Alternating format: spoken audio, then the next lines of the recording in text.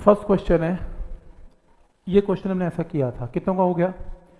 इसमें आपको एक ही चीज़ आती है कि अगर आपके पास ए बी सी पॉइंट है और आपको बी और ए का प्रेशर का डिफरेंस निकालना है तो पहले आप P B minus P C P C करो एच रो जी और फिर आप P C minus P A करो एल रो ए एल रो ए एक हॉरिजॉन्टल में, एक वर्टिकल में। तो ये आपका हॉरिजॉन्टल में, ये आपका वर्टिकल में पीसी की वैल्यू ऊपर से नीचे पुट कर दो आंसर आ जाएगा, ये हमने ऑलरेडी क्लास में किया था। ठीक है तो इस टाइप की प्रॉब्लम में मेरे ख्याल से कोई दिक्कत नहीं, आपको पता लग जाता है, एक हॉरिजॉन्टल और एक वर्टिकल में लगा के आंसर आ जाएगा। ठीक, पहला क्वेश्चन क्लियर है। दूसरा, क्या आंसर है? कितनों का हो गया? हो गया। कैसे किया? हाँ। हाँ ठीक है, ठीक कह रही है। वो कह रहे हैं to what height should a cylindrical vessel पानी किस हाइट तक डालें? ये रहा height to make the force with which the liquid presses on the side of the vessel equal to force exerted by the liquid on the bottom of the vessel side पे और bottom पे force same है. Bottom पे force क्या है? H rho G pressure into bottom का area force आ गई? Side wall पे एवरेज प्रेशर क्या है? साइड वॉल पे प्रेशर क्या है? H rho G by two और एरिया कितने हैं? Two pi R into H ऐसा ही है? तो टू पाई आर एच जरा करना, जरा सॉल्व क्या आ रहा है? H is equal to R आ रहा है। इसे इक्वेट कर लेना। आज हमने किया ना एवरेज प्रेशर का कॉन्सेप्ट तो एवरेज प्रेशर की value H rho G by two तो है ही। उसको साइड के एरिया से मल्टीप्लाई कर दिया तो एवरेज फोर्स आ गई वॉल्स के ऊपर। वॉल्स के ऊपर फोर्स और फ्लोर के ऊपर फोर्स बराबर है इक्वेट करके आंसर पॉइंट सबको समझ में आ रहा है यहाँ तक? क्या लॉजिक है इसमें? ठीक. नेक्स्ट है क्वेश्चन नंबर टू के बाद क्वेश्चन नंबर थ्री कितनों का क्वेश्चन नंबर थ्री हो गया? कैसे? कैसे?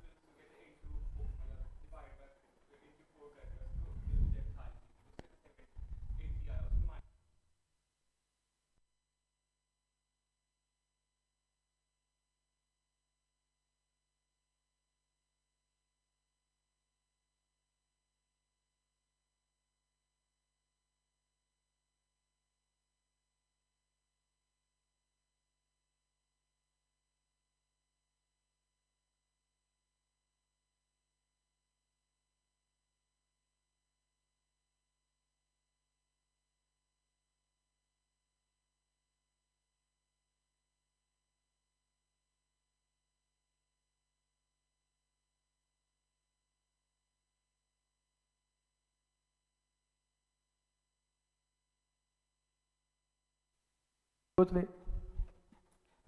अच्छा चल, एक बार हो सकता है समझाना ना रहा हो। तो एक काम करते हैं, इस क्वेश्चन को करने के लिए ये कॉन्सेप्ट है। वो क्वेश्चन में ये कह रहा है कि आपके पास एक बॉल है है ना? आपके पास एक बॉल है और एक बॉल को आप यहाँ से ऊपर लेके आ रहे हैं। इस बॉल का प्रेशर यहाँ पे कितना है? पी एटमोस्फेरिक प्लस एच और आपको ये बताना है कि हाइट की वैल्यू कितनी है? बॉल ऊपर आ गई। जब बॉल ऊपर आई तो सिर्फ़ एटमोस्फेरिक प्रेशर हो गया, पानी का प्रेशर उसका खत्म हो गया। टेम्परेचर रिमेनिंग दी सेम आप मुझे ये बताओ कि जब बॉल नीचे थी प्रेशर ज़्यादा था तो वॉल्यूम कम था। जब ऊपर आ गई प्रेशर घट गया वॉल्यूम बढ़ गया। तो प्रेशर इंटू वॉल्यूम का प्रोडक्ट जो है, वो दोनों में क्या रहेगा? सेम पी इंटू वी का गेम है। प्रेशर इंटू वॉल्यूम यहाँ पे प्रेशर इंटू वॉल्यूम यहाँ पे सेम है। तुम्हें यह पता है कि जब वो नीचे से ऊपर आया तो एरिया चार गुना ज़्यादा बढ़ गया फोर टाइम्स एरिया हो गया। तो आपको ये बता रहे हैं हाइट की वैल्यू क्या है, और प्रेशर आपको गिवन है एटमोस्फेरिक का 10 मीटर ऑफ़ वाटर कॉलम मतलब टॉर्सली ने लास्ट टाइम याद है, बैरोमीटर का एक्सपेरिमेंट किया था, और टॉर्सली ने क्या कहा था तो मरकरी यूज़ करते हो तो हाइट हमेशा क्या आती है seventy six centimetre of mercury column लेकिन अगर वो पानी की ट्यूब यूज़ करता तो उसे पानी की ट्यूब में दस मीटर तक की लंबी ट्यूब लेनी पड़ती। इसलिए उसे मरकरी यूज़ की, क्योंकि मरकरी भारी थी। तो ट्यूब छोटी में काम चल गया।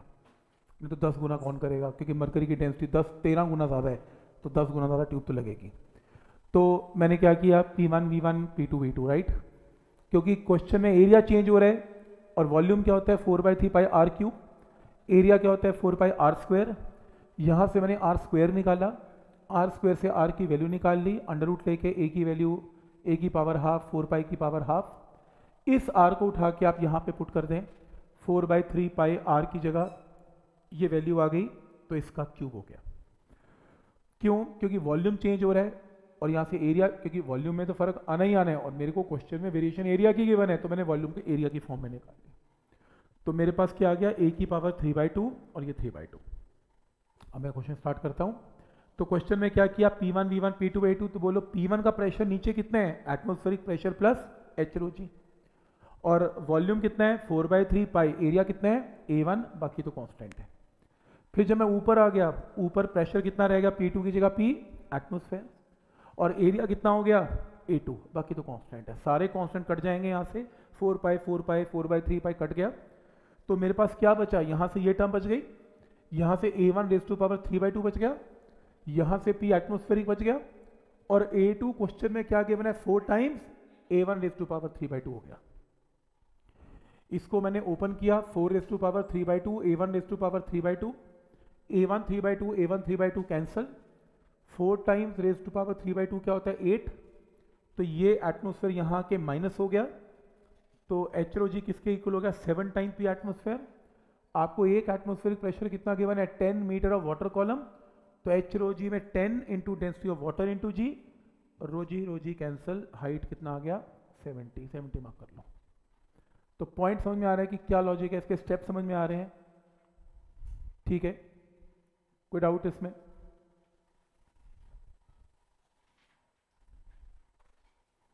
क्योंकि प्रॉब्लम पता है क्या है? मैं ये क्वेश्चन ओरली भी कर सकता था।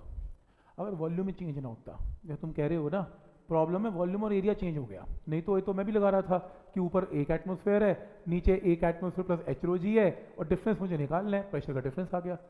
प्रॉब्लम है साथ के साथ वॉल्यूम और एरियाज़ भी चेंज हो रहे हैं। तो तुम्हें प्रेशर और वॉल्यूम का प्रोडक्ट के साथ ही काम करना है। ठीक है, यहाँ तक? एंड में कुछ नहीं है, यहाँ तक क्लियर है। ये एट इंटू पी एटमोसफेयर है, ये सिर्फ़ पी एटमोसफेयर है। ये यहाँ जाके सब्ट्रैक्ट हो गया सेवन बन गया। और पी एटमोसफेयर क्वेश्चन में क्या किया है ten metre of water column तो ten rho G rho G और रो जी कैंसल आंसर आएगा। ऐसे ठीक है?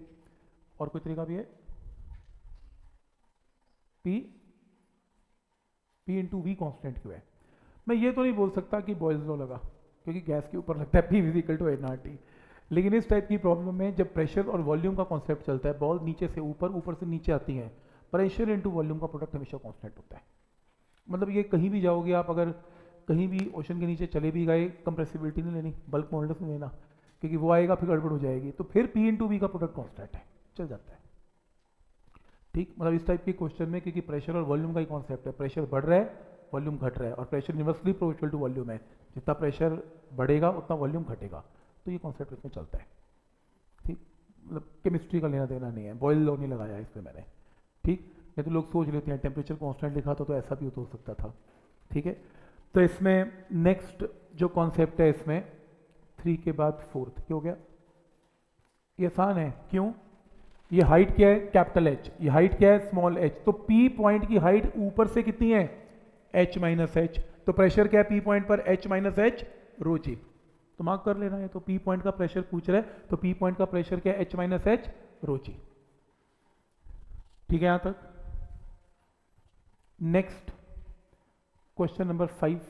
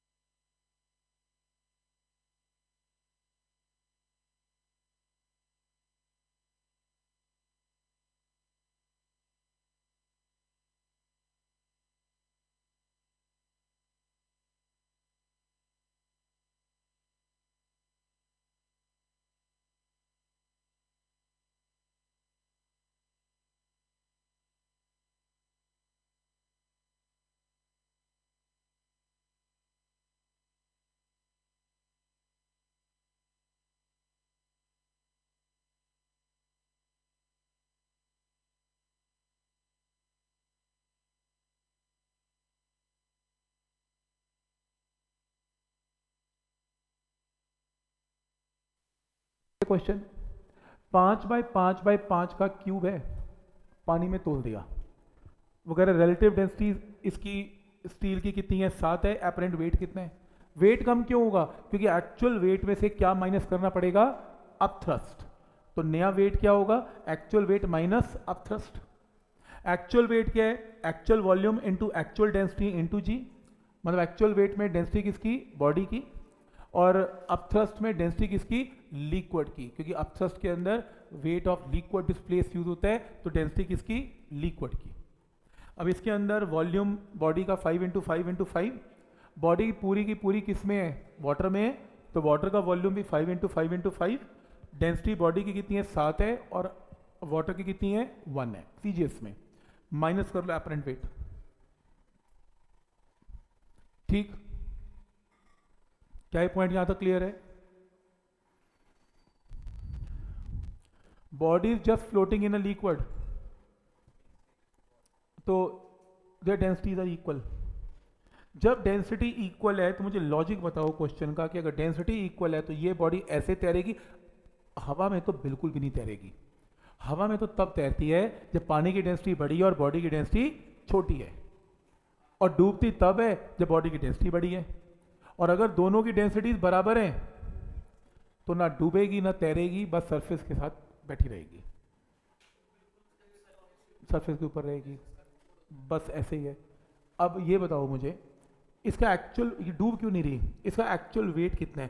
अगर इसका वॉल्यूम वी है तो एक्चुअल वेट है V into density of body into G इसका अपथ्रस्ट कितना है? V वॉल्यूम तो सेम ही है density of liquid into G but U और वेट तो बराबर ही है तो नेट फोर्स क्या है? ज़ीरो अब तुम गए तुमने इसको दबा दिया और छोड़ दिया। लग गई, नहीं, लग गई और नीचे जाएगी ये। जब लगाई तो नीचे जाएगी और लगानी बंद कर दी। तो फिर तो उसको रुकना चाहिए था ना।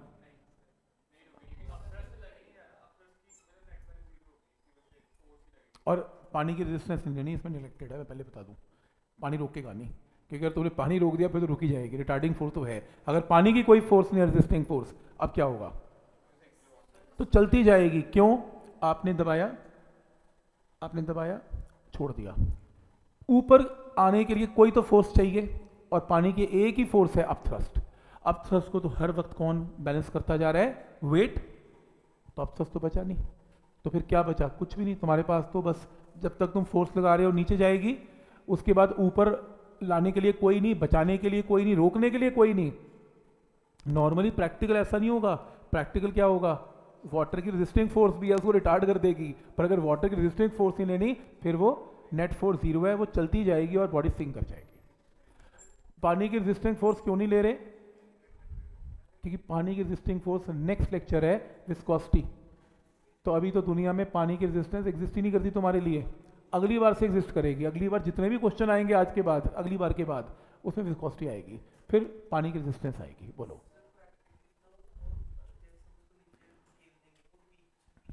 प्रैक्टिकली तो तुम धक्का मारोगे, तब तक वो नीचे जाएगी, फिर रिटार्डिंग फोर्स को रोक देगी, पानी की फोर्स फिर रुकी जाएगी और क्या होगा? ऊपर तो नहीं आती।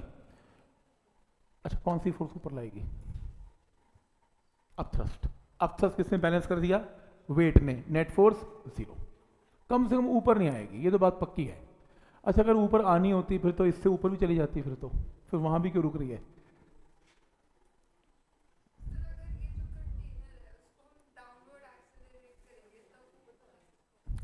एक्सटर्नल फोर्स लगा के? ये रहा। मैं फोर्स लगाऊँ?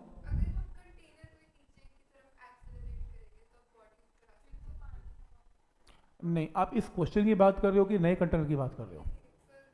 वैसे ओके देखो, सबसे पहली चीज़, अगर आपके कंटेनर की डेंसिटी पानी की डेंसिटी से बड़ी है, हाथ भी मत लगाना, वो अपने आप ही डूब जाएगी, अपने आप एक्सीट कर जाएगी। तो लोहे का लोहे का मान लो क्यूब ले लो तो डूब ही जाएगा। अगर आपकी प्लास्टिक का कंटेनर है कंटेनर है, उसकी डेंसिटी पानी की डेंसिटी से लो है तो पानी उठा के उसे ऊपर फेंक देगा। तुम जितनी मर्ज़ी फोर्स लगा लो, लेकिन तुम उसको छोड़ोगे तो वो बॉल ऊपर ही आएगी कंटेनर ऊपर आएगा आएगा। और अगर बराबर है, बस ज़्यादा ये हो सकता है, जहाँ तुमने रोका वहाँ रुक सकती है, पर अगर पानी की रेजिस्टिंग फोर्स भी नहीं है पर तो वो डूबेगी डूबेगी, अब कुछ नहीं हो सकता। रुक जाएगी ना, पानी रोक लेगा उसे।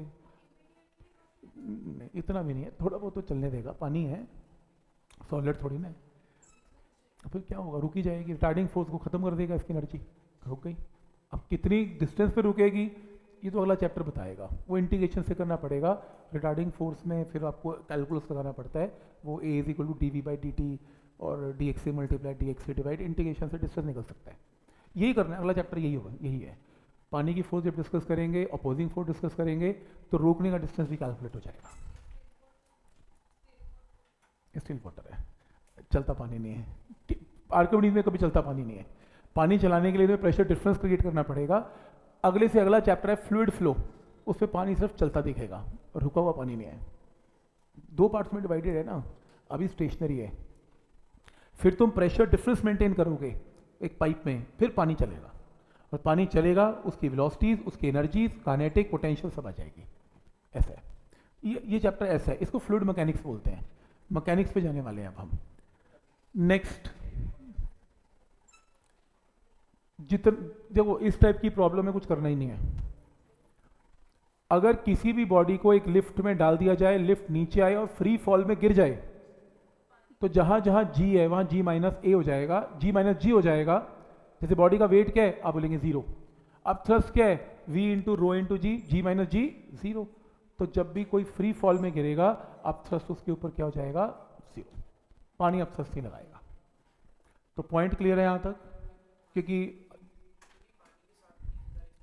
सात बिल्कुल ठीक जी में से जी क्या. क्या पॉइंट यहाँ तक क्लियर है? इस क्वेश्चन में क्या हमने ऐसा क्वेश्चन किया है? कब? कॉइन वाला। ये कॉइन वाला क्वेश्चन का दूसरा फॉर्म है। वो कहता है, आपने एक आइस ली। आइस में एक लेड की बुलेट डाल दी। आइस तैर रही है। बुलेट भी तैर रही है। तो पानी का लेवल इतना है। आइस पिघल गई। आइस पिघल गई। बुलेट डूब गया। तो अब वो उतना पानी डिस्प्लेस नहीं कर पाया। अब वो कम डिस्प्लेस कर पाया। तो लेवल विल डिक्रीज हमने ऐसे भी किया था। बोट में वो बच्चा चला गया। वो पत्थर लेके चला गया। उसने पत्थर लेक में गिर दिया लेवल विल डिक्रीज सबके अंदर डिक्रीज है। कैसे? उससे क्या फ़र्क पड़ता है?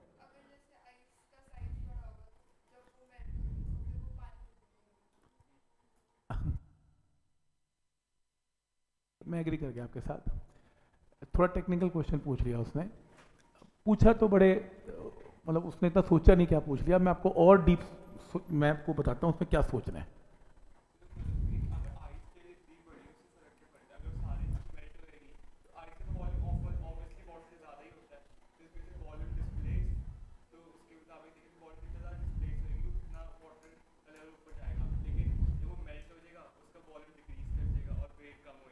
ठीक है।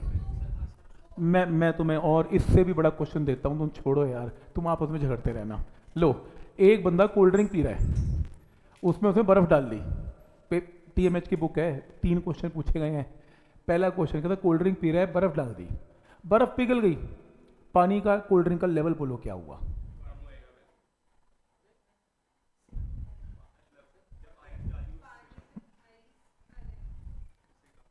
बस इतना लेवल है जी मेरा कोक का। जब बर्फ़ है। पिघल गई। लेवल नीचे लेवल सेम कि लेवल ऊपर? तुम ये आंसर दे ही नहीं सकते। तुम्हें बर्फ़ की डेंसिटी नहीं पता क्योंकि। अब पॉइंट नाइन है। ओके डेंसिटी पॉइंट नाइन है। चलो डेंसिटी वन है। अब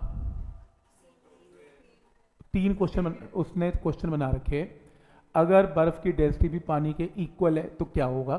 सेम क्वेश्चन में। और अगर बर्फ़ की डेंसिटी कम है, जो कि कम होती है, तभी तैरती है ऊपर की तरफ़ तो फिर क्या होगा? और अगर बर्फ़ की डेंसिटी बराबर है तो क्या होगा? अब बोलो। अब इसमें सेम भी रह सकता है और बढ़ भी कम होगा कि बढ़ेगा? कम, क्योंकि वॉल्यूम पिघलने के बाद डेंसिटी कम है, कम वॉल्यूम निकलेगा तो वो गिर भी सकता है।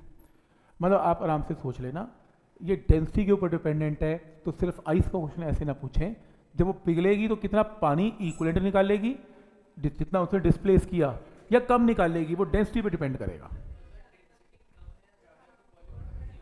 नहीं नहीं नहीं नहीं नहीं। ये आपके पास, देखो, ये आपके पास पानी है, ये लेवल है पानी का। ये आपके पास आइस है। आइस ने क्या किया? इस कोल्ड ड्रिंक को यहाँ से ऊपर लेके आई हुई है। ठीक है? तो आइस ने इतना कोल्ड ड्रिंक क्या किया? डिस्प्लेस किया। इतना वॉल्यूम डिस्प्लेस किया। ये वॉल्यूम ऑफ़ वाटर डिस्प्लेस्ड होता क्या है? वेट ये जो sorry weight of water displaced क्या है? वेट ऑफ़ आइस यही आर्कमिडीज वेट ऑफ़ आइस क्या है? जो भी इस सबमर्ज पोर्शन का वॉल्यूम है into density of ice into g है ना? अगर मैं इस वेट को क्या करता हूँ? इसको पिघला देता हूँ तो पानी का वेट और इसका वेट बराबर आएगा। आर्कमिडीज तो यही कहते डेंसिटी कुछ भी हो, बराबर आएगा। लेकिन मुझे सिर्फ़ ये बताओ, जो वॉल्यूम होता है, वो क्या होता है? मास बाय डेंसिटी यहाँ पर गेम वेट की नहीं है, यहाँ पर गेम वॉल्यूम की है, क्योंकि पिघलने के बाद कितना वॉल्यूम देगा आइस उस पर मैटर करेगा। क्योंकि वाटर डिस्प्लेस तो बराबर ही है। अब अगर डेंसिटी कम हुई आइस की मास नहीं चेंज होता तो वॉल्यूम ज़्यादा निकलेगा, लेवल बढ़ सकता है। और अगर डेंसिटी ज़्यादा हुई मतलब पानी के बराबर हुई तो फिर वॉल्यूम कम भी हो सकता है और सेम भी रह सकता है। मतलब आपने कैलकुलेशन आर्कोनिस के साथ नहीं करनी, आपने कैलकुलेशन मास पर डेंसिटी के साथ करनी है। यहाँ से आपका आंसर आएगा। तो कुछ भी हो सकता है डिपेंडिंग अपॉन डेंसिटी मतलब डेंसिटी कम है तो वॉल्यूम ज़्यादा निकलेगा, बात खत्म।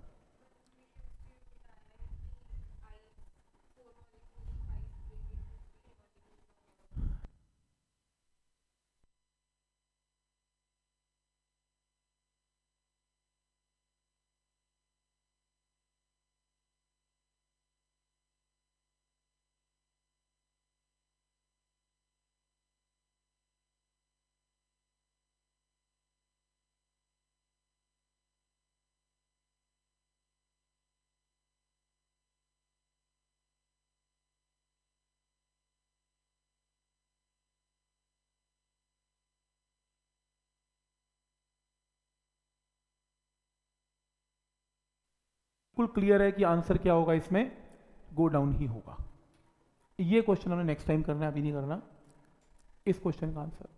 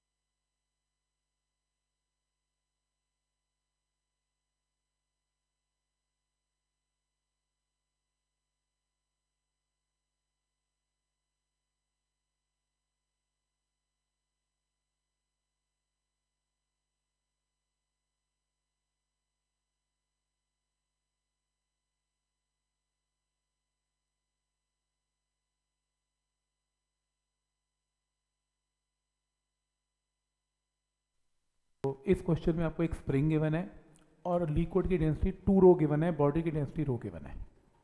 तुम क्या मुझे ये बता सकते हो कि अगर आपके पास एक क्यूब है, जिसकी लेंथ एल है क्वेश्चन सुनो ध्यान से। एल लेंथ है क्यूब की डेंसिटी रो है और वो तैर रहे किसी पानी में जिसकी डेंसिटी टू रो है। कितना पोर्शन फ्लोट करेगा? कुछ हवा में, कुछ पानी में? क्योंकि लिक्विड की डेंसिटी बड़ी है। तो कितना पोर्शन लिक्विड में होगा?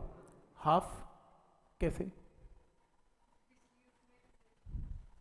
अच्छा अगर डेंसिटी थ्री रो है लिक्विड की, अब वन बाई थ्री ठीक है। इस क्वेश्चन को करने के लिए पहले एक शॉर्टकट सीख लो, बहुत काम आएगा। अगर आपके पास एक क्यूब है और क्यूब की साइड एल है और वो एक लिक्विड में तैर रहा है, जिसकी डेंसिटी टू रो है और बॉडी की डेंसिटी रो है तो क्वेश्चन आएगा, उसका कितना पोर्शन समर्ज रहेगा? आर्कमिडीज लगाओ। Weight of liquid displace is whole weight of the cube weight of liquid displace क्या है L into L into H volume of liquid is displaced into density of liquid into g whole weight में total volume into density of body into g solve करो H is equal to L by two तो एक shortcut है। अगर कोई भी body अपने से हाफ़ डेंसिटी यानी कि लिक्विड की डेंसिटी बॉडी की डेंसिटी से डबल है तो सॉल्व भी नहीं करना एल बाई टू बोल देना है। और अगर थ्री टाइम्स है एल बाई थ्री बोल देना है। अगर फोर टाइम्स है एल बाई फोर बोल देना तो आधे क्वेश्चन तो ऐसे ठीक हो जाने आपके क्यूब के। और बहुत बहुत सारे क्वेश्चन में क्यूब भी आता है। क्यूब के लिए लगाना है और किसी के लिए मत लगाना। अब ये क्वेश्चन है। आपका क्वेश्चन ऑब्जेक्टिव यही तो है। एक स्प्रिंग है। ये बिल्कुल भी कंप्रेस नहीं है। इसके ऊपर एक ब्लॉक है। बिल्कुल भी इसके कांटेक्ट में है, पर इसको टच भी नहीं कर रहा एक तरीके से और दबा तो बिल्कुल भी नहीं रहा। तो एक क्यूब है जिसकी लेंथ एल है, लेकिन डेंसिटी रो है और लिक्विड की डेंसिटी टू रो है टू रो है। तो ये मुझे बताने की ज़रूरत ही नहीं है कि इसका कितना पोर्शन पानी में समझ रहा होगा एल बाई टू स्प्रिंग बिल्कुल भी कंप्रेस नहीं है। तुमने क्या किया? इस ब्लॉक के ऊपर एक वेट डाल दिया डब्ल्यू तो ये दब गया। कितना दबा? एल बाई टू स्प्रिंग भी कितना दब गया? एल बाई टू क्वेश्चन है, ये वेट कितना है? और ये रेस्ट पे आ गया सिस्टम इक्विलिब्रियम में। तो बताओ, ये वेट कितना है? अब ये वेट पे, ये वेट कहाँ कर रहा है? नीचे। इस वेट पे कौन सी दो फोर्सेज हैं जो इसको चाहते हैं कि ऊपर चला जाए? पहली फोर्स कौन? अप थ्रस्ट पानी चाहता है ऊपर जाए। दूसरा स्प्रिंग की फोर्स तो फिर वेट डब्ल्यू क्या होगा? डब्ल्यू वेट की जो वैल्यू निकालनी है, वो होगी स्प्रिंग की फोर्स स्प्रिंग की फोर्स क्या है? K into L by two क्योंकि एल बाई टू स्प्रिंग जो है वो कंप्रेस्ड है। इनटू एक्स्ट्रा अप थ्रस्ट यानी कि देखो, तैर तो ये पहले भी रहा था। याद है लास्ट टाइम हमने बोट वाला क्वेश्चन किया था मैन बैठ गया तैर तो बोट पहले भी रही थी, पर इस वेट ने इसको एल बाई टू एक्स्ट्रा नीचे डाल दिया। तो एल बाई टू पोर्शन ने कितना लिक्विड डिस्प्लेस किया? L into L into L by two liquid displace किया, क्योंकि इसके बैठने की वजह से डब्ल्यू की वेट की वजह से एल बाई टू पोर्शन नीचे गया। Into weight of liquid displace अब थर्स्ट में क्या होता है? Density of liquid into g option mark कर लो।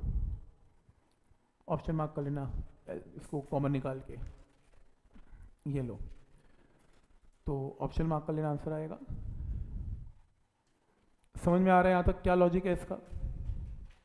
ठीक है। Next cube of iron whose sides are of length L एक क्यूब है साइड एल साइड का। पुट इनटू मरकरी मरकरी में चीज़ें ज़्यादा तैरती हैं, मालूम है आपको? क्यों? डेंसिटी तेरह पॉइंट समथिंग है ना? Thirteen point six into ten की पावर थ्री पानी की एक है। तुम तो पानी में भी तैर लेते हो। मरकरी में तो उठा उठा के ऊपर फेंकेगी तुम्हें मरकरी। थर्टीन पॉइंट सिक्स बहुत ज़्यादा है, तेरह गुना ज़्यादा उसकी डेंसिटी है। लोहा भी तैर रहा है, वो कह रहा है। ये देखो, लोहे की डेंसिटी भी कम पड़ गई मरकरी के अंदर। तो मरकरी में अब थ्रस्ट बहुत ज़बरदस्त मिलने वाला है।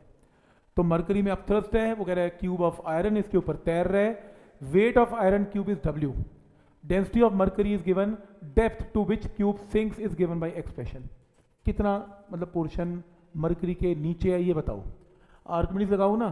आर्कमिडीज में क्या है? Weight of mercury displace is whole weight of the body weight of mercury क्या है? L by L into H into density of mercury into g और होल वेट कितना गिवन है डब्ल्यू एच निकाल लेना आंसर तो आर्कोनीज लगाओ आंसर आएगा इसमें, कोई डाउट इसमें?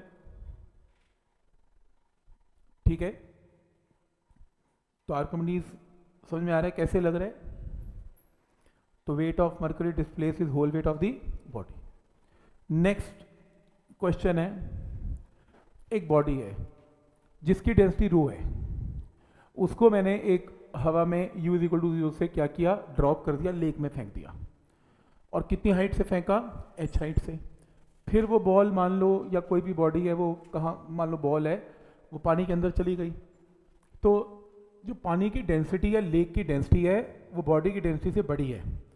मतलब ये बॉडी डूबेगी नहीं। प्लास्टिक की बॉल हो सकती है, डूबेगी नहीं, किसी इंस्टेंट पर रेस्ट पे आएगी और फिर ये ऊपर भी जाएगी। कह रहे वो कितने डिस्टेंस पे रेस्ट पे आएगी लेक के अंदर ये बताओ एस निकाल लो कितना। है तो ये यू ज़ीरो है और ये वेलोसिटी क्या under root of two g H हवा के अंदर तो g acceleration due to gravity g use कर सकते हैं। और जब ये नीचे गई, रुक गई तो आपको एस निकालना है। तो अगर तुम यहाँ पे काइनेमेटिक्स लगा दो V square minus U square two A S तुम्हें सिर्फ़ पानी के अंदर बॉल की एक्सलेशन या रिटार्डेशन निकालनी है कितनी है। क्योंकि बॉल क्या करेगी? पानी के अंदर रिटार्ड करेगी तो तुम्हें रिटार्डेशन निकालनी है। क्वेश्चन समझ में आ रहा है? रिटार्डेशन कैसे निकलेगी?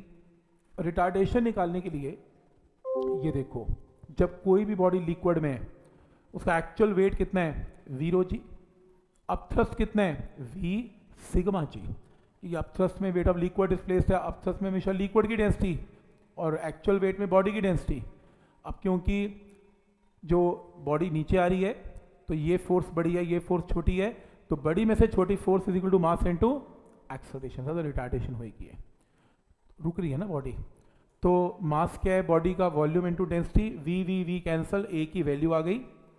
अब आप काइनेमेटिक्स लगाओ, लेकिन ए के अंदर यहाँ पर नेगेटिव ज़रूर लगाना, क्योंकि ये एक्सलेशन नहीं है, ये रिटार्डेशन है। सॉल्व करके एस निकाल लेना आंसर आएगा। कैलकुलेशन है उसके बाद। तो पॉइंट समझ में आ रहा है कि लिक्विड के अंदर आप जी यूज़ मत करना। लिक्विड में जी मत यूज़ करना। लिक्विड में ए निकालना।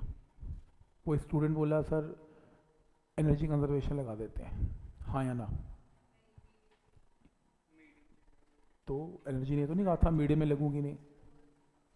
आप थ्रस्ट कैसे एडजस्ट करोगे? ए कैसे एडजस्ट करोगे? क्योंकि आप हवा में लगाते हो तो जी होता है। आप तो लेते ही नहीं। कंजर्वेशन एनर्जी कंजर्वेटिव फोर्स में लगाते ही हो, इसमें कैसे लगाओगे?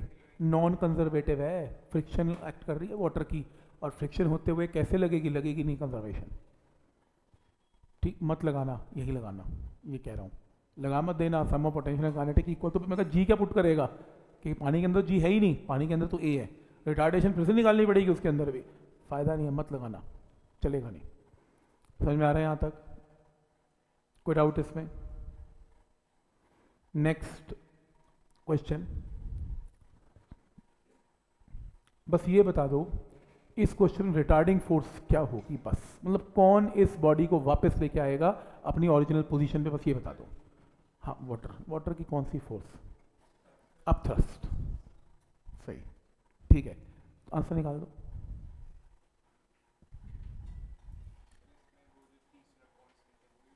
नहीं। ट्यूब को टेढ़ा तो कर थीटा एंगल पे। एक ट्यूब बना और थीटा पे टेढ़ा कर दो।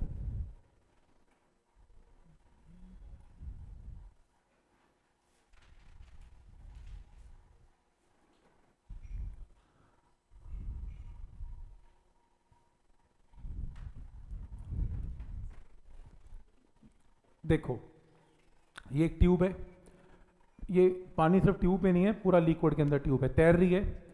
मान लो ये ऐसे तैर रही है और एल पोर्शन इसका पानी के अंदर है। आपने क्या किया? इसको थीटा एंगल घुमा दिया। थीटा एंगल घुमा के कितना पोर्शन लिक्विड के अंदर रह गया? ट्यूब का X area of cross section क्या है? ए तो इसका वॉल्यूम क्या है? ए इंटू एल इसका वॉल्यूम क्या है? X into A X into A तो यहाँ पे अपसस लग रहा था लिक्विड का। टेढ़ा करने पे भी अपसस लग रहा है लिक्विड का। तो टेढ़ा करने पे अपथ्रस्ट बढ़ जाएगा। पहले कम था, अब ज़्यादा हो गया। तो जो एक्स्ट्रा अपथ्रस्ट है, वो बॉडी को कहाँ लेके आएगा? वापस लेके आएगा। तो दो अपथ्रस्ट कैलकुलेट करने हैं। पहले जब वो यहाँ पे है तो अपथ्रस्ट जब यहाँ पे है, वो कितना है? अपथ्रस्ट की वैल्यू है ए एल रो जी क्योंकि वॉल्यूम क्या है? Area into L into rho into g rho का मतलब डेंसिटी ऑफ़ लिक्विड है। तो क्लियर है यहाँ तक? तो तैर रही है तो whole weight of the body करने तो वो भी कर लो, कोई बात नहीं। नेक्स्ट है फाइनल अपथ्रस्ट क्या है? ए एक्स वॉल्यूम क्या है? ए एक्स रो जी, अब इस ज्योमेट्री से कॉस थीटा क्या है? Cos theta L by X X is L by cos theta put कर दिया। फाइनल अपथ्रस्ट है। तो फाइनल में से इनिशियल माइनस किया। तो एक्स्ट्रा अपथ्रस्ट था जो वापस लेके आएगा। माइनस करके ये टर्म आ गई। यहाँ से ए इन ट्वेल्व निकाल लेना तो निकाल लेना एम जी बाई रोजी यहाँ पुट करके, यहाँ से निकाल लेना, जो निकालना आंसर ऑप्शन मार्क कर लेना। पॉइंट समझ में आ रहा है? और कोई लेके नहीं आएगा अब थ्रस्ट ही लेके आएगा। तो अब थ्रस्ट की वैल्यू फाइनल इनिशियल दोनों का डिफरेंस ही इसको वापस लेके आएगा और ये इसका ट्रिक है। ठीक? बॉडी ऐसे है, ऐसे रहें तो पसंद करती है। कुछ तो थ्रस्ट लग रहा है। थ्रस्ट कितना लग रहा है? टेन जो वेट को बैलेंस कर रहा है। फिर तुमने टेढ़ा किया थ्रस्ट बढ़ गया बारह। पूरी बॉडी वापस ऐसे आ गई। कितनी फोर्स कौन सी फोर्स को वापस लेके आ रही है? बारह में से दस गया दो। मैथ्स है ना? Cos theta less than one होता है तो एक्स बढ़ जाएगा ऐसे।